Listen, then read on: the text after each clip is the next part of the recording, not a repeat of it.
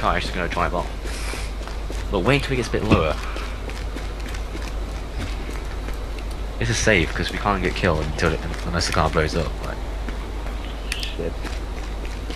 Fucking guy thought he has a gun, dude. we're G7, so we're like basically in the middle next to that river and Cranberry. What are you doing, Jay? I'm on. Oh, right, so that's it. What you doing? Yeah. Living the dream. Gas production resuming. We're G7. Yeah, we're Right, G7. that'll do.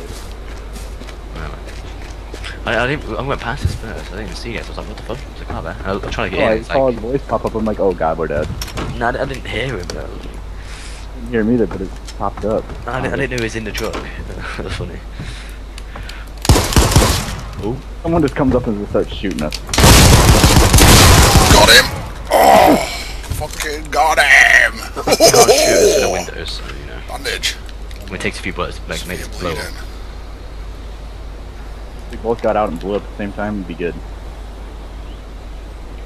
Dude, you gotta agree with me. I shot you right in the fucking Yeah, yeah, face of with the shotgun. You should die. I fucked you up, pal. You're fucking dead, mate. Go fuck yourself. You I fucking agree. DF, You DF, want- hey, hey, fucking die, bitch.